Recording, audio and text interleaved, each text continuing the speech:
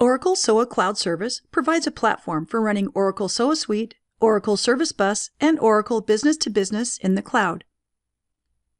Oracle SOA Suite includes a complete set of service infrastructure components for designing, deploying, and managing composite applications. Oracle Service Bus provides capabilities for service discovery and mediation, rapid service provisioning and deployment, and governance. Oracle B2B enables the secure and reliable exchange of business documents between an enterprise and its trading partners. When used within an Oracle SOA Suite composite application, end-to-end business processes can be implemented. Oracle SOA Cloud Service provides access to cloud and on-premises applications through a variety of adapters. Cloud adapters like Salesforce and RightNow on-premises adapters like SAP and e-Business Suite, and technology adapters like FTP, AQ, JMS, and Coherence.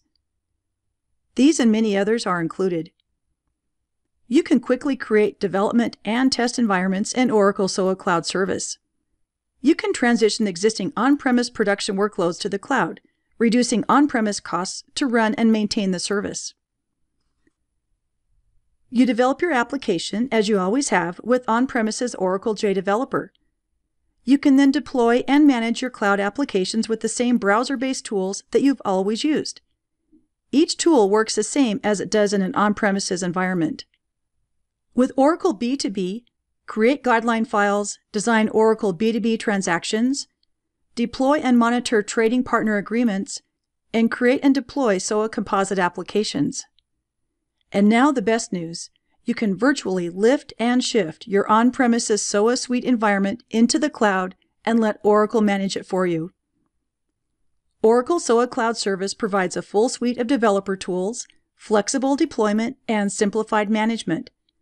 Instead of spending time on platform building and maintenance, developers are freed to focus on innovation. Thank you for watching.